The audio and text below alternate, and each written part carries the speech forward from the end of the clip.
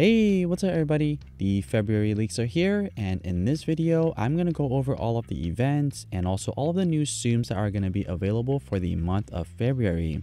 And before I get into that, sorry guys, I haven't been uploading as frequently. I've just been a little bit busy in my personal life, but I do hope that in the month of February, I'll have a little bit more time to play the game and also upload the content for you just like I regularly do. I might not do as much commentary, but I do plan on at least uploading the gameplay so at least you guys could see what the Tsums look like. Alright, so let's get into it. The main event that we're going to have is Poster Puzzle. And it does look like that there's going to be a total of 6 puzzle. So they are going to separate it into two different categories. And then at the end of the month, you'll have a score challenge. I personally like the raffles better than the score challenge, but the score challenge could be fun as well, if, especially if you have friends who also play this game you guys could compete to get a higher score. The next big thing that's coming out is going to be bingo card number 29 and bingo cards are usually very very fun and sometimes they're a little bit difficult but for this one I do anticipate it to be not as difficult compared to bingo 28 and bingo 28 if you have the right Tsums it wasn't that difficult either. By the way, if you guys are enjoying content just like this where I review Tsums and show you monthly leaks, please consider subscribing to this channel, it really helps me out a lot. Alright, so let's take a look at all of the new Tsums that are going to be available for the month of February.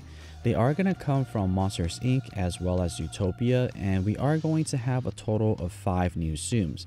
They are going to be broken up into two different release, so you'll have early on, starting probably at the end of this month, January 30th, you'll be able to get these three new Monsters Inc. Tsums, and then after that, you'll be able to get Zootopia towards the middle of the month, probably like February 13 or so. And if you're unable to get the new Tsums towards the end of the month, all five will be available for you to try to get. So let's take a look at the first three. So the first one you have Charm Boo, and this is going to be a Charm Tsum obviously. So what that means is that instead of having five Tsums on the screen, you're to have four. So Boo is going to have a little Mikey charm that you can connect Boo with. So the description for Boo is going to be clear Tsum randomly and spawn special magical bubbles. So she's definitely going to be very good for those bubble missions if you have them. So keep that in mind for the next month. Then we have Comedian Mike. This is going to be a limited Tsum just like Charm Boo, so this is going to be the only time you'll be able to get him, at least for a while. So let's take a look at the description. Mike brings the funny to the laugh floor. Clear Tsums from the bottom of the screen allows you to make magical bubble with one fewer chain. So normally you'll need to make a chain or to make a bubble, you'll need to make a chain of seven clears. But with Comedian Mike, you only need six and it makes special bubble and also it clears Tsums from the bottom of the screen. So that's Comedian Mike's ability. So let's move to Roz. So with this Tsum, it's not going to be a limited Tsum, which means that it's going to be added to the premium box. So you'll be able to get her at any moment. So let's take a look at her description. Dispatch Manager at Monsters Inc. and Undercover CDA. Clears vertical and horizontal line of Tsum. So pretty simple Tsum. I don't anticipate her to be that amazing given that she's going to be in the premium box regardless. Usually the limited Tsums are a little bit better than the non-limited Tsum. Moving on to the Zootopia Tsum. So first one we have Little Judy. This is going to be a baby Judy in a way. So Judy in her childhood. Judy Hopps Tsums appear that clears surrounding Tsums for big points when connected. So ultimately, she's going to come out and you connect them for a lot of points. She's going to be a points Tsum, which I don't anticipate her to be that good. Next, we have Little Nick, and both of these are going to be limited Tsum. Similar to Little Judy, this is going to be Little Nick, so it's going to be Baby Nick. Nick in his childhood clears all the Tsums in the center, so it's a center burst Tsum. It's likely going to be an average Tsum, but Depends, sometimes the center burst Tsums could be good, so we'll wait and see to see how Little Nick performs. Alright, now on to the first selection box, and just like any other selection box, we're going to have 12 new Tsums that are going to be available for this month.